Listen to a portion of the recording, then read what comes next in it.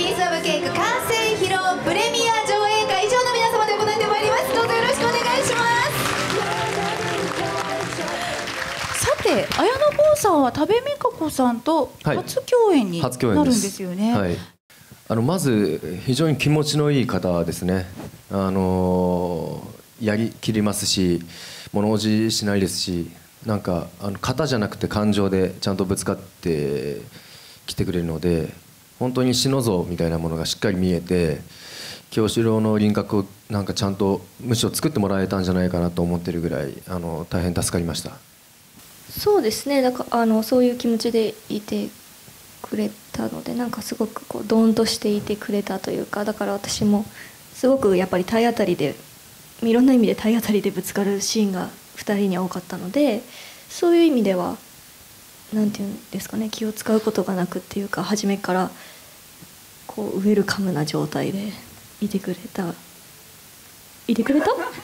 いたいたよ。だよね、うん、そういました。合ってるでしょ？ええええそうそうそう間違ってないですよ。間違ってないええ皆さんあのおかまの店長見るとびっくりされると思います。そうですかね非常に楽しませていただきました。あはいあれどうやって役作りしていったのかなっていうのはどうやって興味深いん役作りをですが。したか。はい。そうですね。美意識をとにかく高めました。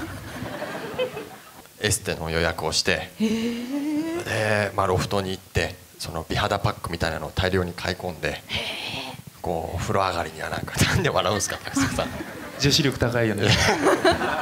そうそうなんですよ。とにかくそれでこうなんだろうこう少しでも女心ということもを自分の中に取り入れようとひたすらもうなんか爪もこうやってなんかちょっと磨いたりなんかして女性って大変なんだなっていうのをね。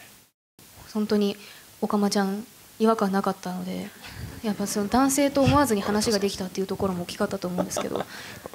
えっとそれ喜んでいいんですか？え褒めてます。あありがとうございます。実は？いやいやいやないないないでもあそのういうのっておご記事になっちゃうから。そういうのが。私はあの京志郎あの綾野さんと一緒に住んでるっていう設定だったんであの顔を見慣れ顔も見慣れてるんだろうなと思ってあの撮影期間中ずっと携帯の待ち受けを綾野さんにしてました 本当に？でもあんまりその京志郎に京志郎はちょっとひげ生やしててちょっとなんだろうはいはい。柔らかい雰囲気なんですけど、ええ。あんまりその画像がなくて結構綾野さん眼光鋭い？画像が多かったんで。そうよく笑ってくださいって言われるの。その中でもちょっとこう、笑ってる写真をええちょっと。びっくり。でもそれ誰かになんか見られたらなんかそういう関係だって思われたらどうするの？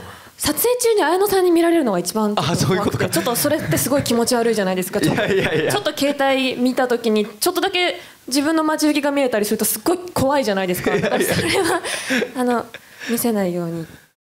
いろんな アプローチがあるんだなと思って今びっくりしましたけどあそれやっとけばよかったなって僕もね食べちゃんに 待ち受けを。